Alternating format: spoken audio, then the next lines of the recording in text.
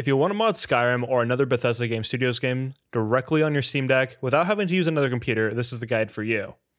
I'll be setting up Mod Organizer 2 today on the Steam Deck by using a repo created by Rockerbacon, and all the source code can be found on GitHub for this. This program allows us to set up Mod Organizer 2 for a variety of Bethesda games, and it'll make a direct installation for just specific games. So if you're used to using Mod Organizer on something like the PC, you can use it to manage a variety of games, but here it will do individual installations per game just to manage that one specifically. For this program to work, we're going to need to set up one dependency, and that's Protontricks. Now, there's two ways to install this, and I'll cover both of them today. One of them is more in depth, but it gives us the possibility to use the browser features better in Mod Organizer 2 than the easy way does. Once we get Mod Organizer 2 set up, I'll show you how to install mods right from Nexus Mods onto the Mod Organizer 2 installation for Skyrim, and I'll cover some common mistakes you might encounter during this process and how you can fix them. On the bottom of each section of this video, there will be a progress bar that fills up as we go through each chapter, so you have a good indication of where we're at. Before we jump into the guide, consider subscribing to my channel. I have a bunch of Steam Deck guide, analysis, and impression videos, so check it out if you want to see more just like this. Before we jump into it, make sure that your game is installed to your internal SSD because this program is going to assume that it's installed there I've seen some people talking about using symbolic links to use your game on your micro SD card, but I will not cover that today. So the first thing we're doing here is going ahead and grabbing the program we want. Here's a repo for it. All the code is public, so you can look into it if you want. Now listed here we have the dependencies that we need. All of these are already on the Steam Deck besides Protontricks. For 7-zip, I didn't need to set anything up, and I just did a clean install with the latest firmware on the Steam Deck, so you shouldn't need to either. Also here, for the Features tab, there's a bunch of games here and it's listed how they're supported. It varies. Skyrim has pretty good support, so we're just gonna go ahead and use that game for now. Now I'm gonna grab the latest release of this and just open it up with my Ark file explorer and extract this to my downloads folder or wherever you want.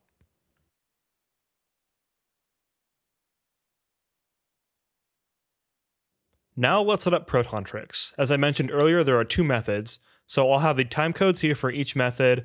First we'll do the simple one, and then we'll do the more advanced method. So you can jump to either one. The more advanced one does have a little bit better browser support for Mod Organizer 2, but you might not need that. So for the simple version, just go to your Discovery store and search for Protontricks. There you can install it, but there's a little bit of a problem here. Protontricks installed this way doesn't work on your command line immediately. Add Protontricks to the command line using this command, then close your terminal and restart it and try Protontricks to make sure it works. By default, Protontricks won't have access to other directories on your Steam Deck besides the default one, but if you scroll down a bit on the repo page, you can see how to configure that and set it up. That won't be necessary for today. Now, if you want to opt for the slightly more advanced version, we're going to use pipx to install Protontricks. This will give us some more features for using the browser from Mod Organizer 2 compared to the previous version I just showed you. There are some steps to get this set up, but I'll walk you through each one right now. The first thing we're going to do is get Miniconda, which will allow us to have pipx on the Steam Deck. The Steam Deck does have Python installed by default, but actually getting pip running through the Steam Deck's Python installation was a little bit of a hassle, and this is just easier. So here, just download the link from Miniconda 3 Linux 64-bit. With this file downloaded now, we're going to open a terminal where the file is located into chmod a plus rwx space, and then you can just hit tab for it to autocomplete the rest of it and it'll fill out. Also do dot slash and hit tab, and then run the script. Now for the script here, basically accept every term here that it asks you about. And then I just went with a default installation path there. But there is one thing here that we really want to hit yes to, and that's to run the init for Miniconda 3 that will add it to the path. There is another way to do this, but it's just really straightforward if you do it here when it prompts you to do it, so you don't have to mess around with that. Right here, hit yes, and then hit enter, and it'll be added to your path. With that done now, we're to run a couple more commands. I'll put them on the screen and in the description, python-m pip install pipx. Pip is a package manager for Python and pipx is just more specialized one. And Proton Tricks is only on pipx, so that's why we need to install it. So here we have installed it. Next, we want to ensure that's in our path, so we'll just call that command. That'll add it to our path if it's not there, and then we can actually call pipx and use it to install stuff. There we go, added it. And now we can just use it to install Protontricks. Close your terminal and then open a new one. With our new terminal open, we'll just do python-m pipx space install Protontricks. And with that, just hit enter. It'll go through a little process. And once it's done, try typing in Protontricks to ensure that it installed right and can run. With this done, we can go ahead and install Mod Organizer 2 as this was our only dependency. Okay, so before we actually run the installation script for MO2, there's one directory we need to make, otherwise you'll hit an error like this. So the error here will tell you specifically what directory does not exist, and it's pretty simple. Just do mkdir and then space and enter in the exact directory that doesn't exist. Just make it, and then we can actually go ahead and run the installation script.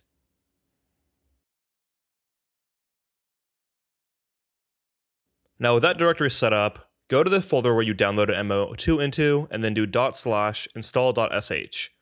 It'll tell you that all your dependencies are met if you're good to go. Here, we'll select Skyrim Special Edition, or whatever version of the game that you're using, and it'll tell you some specific things here. So open your Steam library and verify that all this information is correct, and you've actually launched the game at least one time with Proton 6.3 used. So to do this, just right click on your Elder Scrolls Skyrim, I have the special edition installed here, which is also the anniversary edition with the update. And there should be no launch options by default. And then to set the specific version of Proton, go to compatibility. And then here I already have it set, but click this little checkbox and then pick Proton 6.3 dash whatever is the latest version. For me, it's dash 8. There should probably only be one version of Proton 6.3 in there. Once that's all done, hit all done and let's continue. Now it'll prompt you to install Mod Organizer 2 to a directory, and if it doesn't exist, it'll create it for you.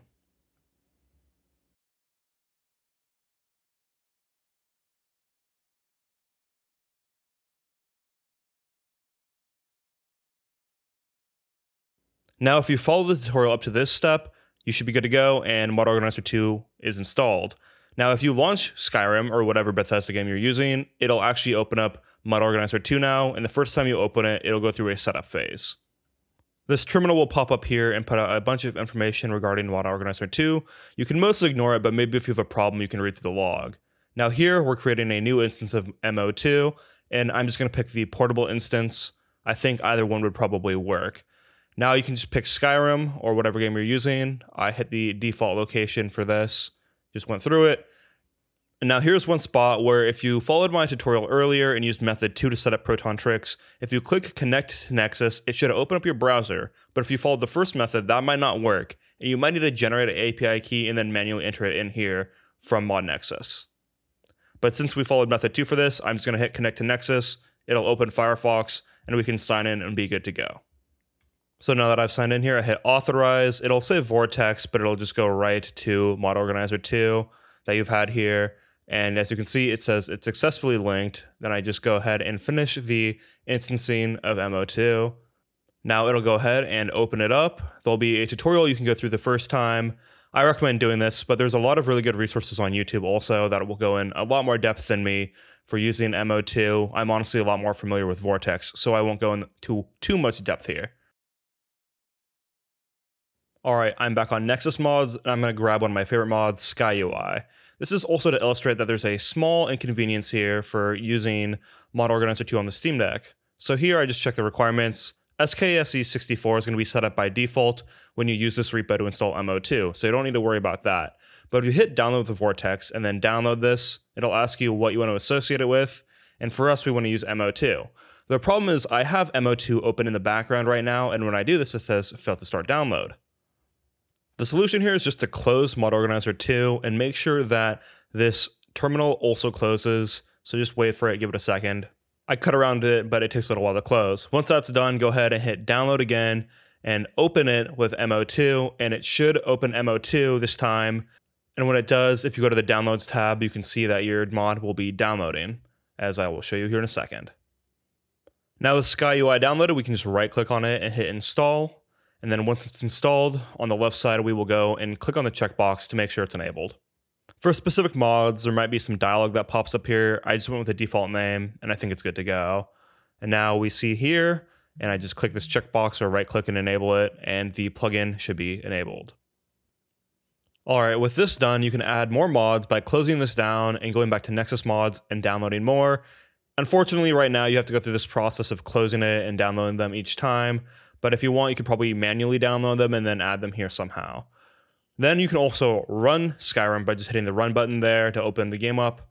But there's also something important here to do if you have a bunch of mods, and that's to sort your plugins. Here, I'm just doing it for one. It's not really necessary if you just have one. But if you have a bunch of plugins, you want to make sure to organize them and sort them. It's pretty straightforward and I can cover it later in the video. Now, this is a pretty cumbersome process because you have to close MO2 each time. To do this faster, you might just want to manually download the files to a 7-zip archive, and then once you have the 7-zip archive, you can use MO2 to manually install them. So just download a bunch of them. I have a couple here, and then I'll go ahead and go to MO2 and just hit install from archive, select each one, and it's definitely a faster process. Now, if you want to update SKSE, it's pretty straightforward. Just download the latest version from the website, move the DLLs over to the installation of Skyrim that you have. The installation of MO2 already put SKSE in this folder, so just move the .dlls and .exes right into this folder here and overwrite them, and then just grab the data folder from the new one and copy it over and paste it in and overwrite all the data there as well. With that, everything should be good to go with your new version of SKSE. So as far as sorting plugins goes, it's pretty straightforward. Here I have an arrangement of plugins installed. I just hit sort then Mod Organizer 2 will use LOOT, which is load order optimization tool to sort all the plugins. And once it's done, you should be good to go and just fire up the game. As I've mentioned before, this is a very basic overview of Mod Organizer 2. That's not what this video is for, it's how to set it up and generally use it. If you want more in-depth tutorials, look elsewhere. A lot of people cover this stuff in a lot of depth. There's things like cleaning mods and a bunch of other things. So definitely do research if you want the best experience possible. Now, as far as running Skyrim from game mode, if you launch Skyrim, it's going to run Mod Organizer 2. So a little script will appear on your screen, it'll run through a couple things, then MO2 will open. Just go to the run with your trackpad, click it, and it'll open up Skyrim for you. Now, unfortunately for the next part, my capture card didn't want to grab it, so I just had to use my camera to record it. But you just run the game from here, and then when you actually have Skyrim running, you would just exit it like you normally would, and then it'll bring up Mod Organizer 2 again. From there, you just hit File and Exit. It'll go back to the script. The script will finish up some things and then close, and you will be back to your Steam Deck's game mode. Now, as far as showing off modded footage here and giving some performance numbers, I'll show that another time. But I had about eight mods installed, some visual ones, some gameplay ones, and I just locked the Steam Deck down to 40 FPS. I was running high settings, and everything was basically locked at 40 FPS, no problems running around outdoors or indoors. So it worked great overall. As I mentioned earlier in this video, this should work for a lot of games that Bethesda makes. The list is on the GitHub repo, but support will vary. If you want to see a lot more videos just like this one, check out my channel and consider subscribing. I'll put a video up pretty soon showing some actual Skyrim gameplay that's modded with a bunch of mods installed on it, so check that out soon. Later.